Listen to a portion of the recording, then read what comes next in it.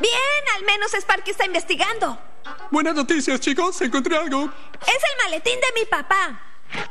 Veamos. Hay un yoyo, una raqueta con pelota y un aterrador libro garabateado llamado Destruir a Tink. ¿Cómo planeo destruir a Tinkelberg y oscurecer su legado? Sin duda es de mi padre. ¿Y dónde estará?